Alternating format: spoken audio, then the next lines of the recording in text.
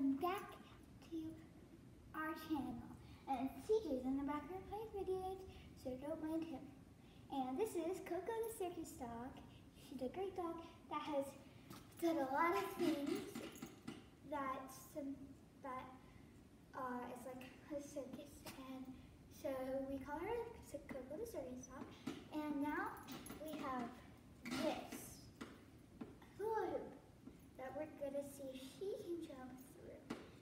Because in the last video, we had her jump over six books on the balance beam and try and jump through this. That didn't really work out. So now we're gonna try and do this and see if this works out, just this.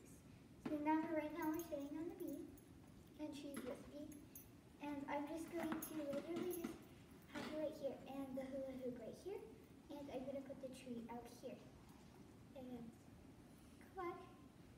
Come on, Coco.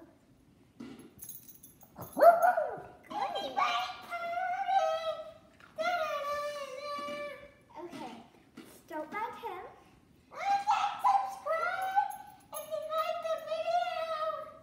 And he says to like and subscribe if you like this video.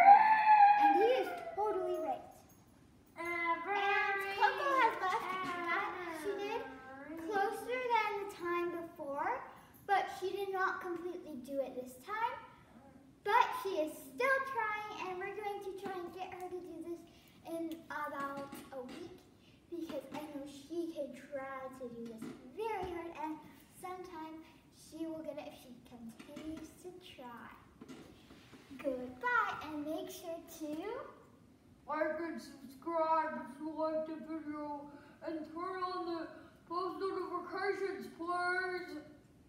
Yes, and if you did not hear him, he said to like and subscribe and turn on the notifications if you like this video, please. And down.